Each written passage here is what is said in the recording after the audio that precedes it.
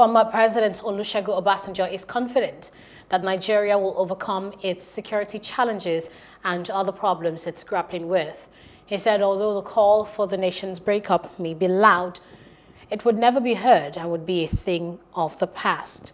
The former president made the remarks as a guest of the Valedictory and Commendation Service for Reverend Samson Ayokunle, the outgoing president of the church. Obasanjo, who's a member of the Baptist Church, commended Reverend Ayokunle for serving uh, meritoriously in his capacity as a leader in the church. Hello, hope you enjoyed the news. Please do subscribe to our YouTube channel and don't forget to hit the notification button so you get notified about fresh news updates.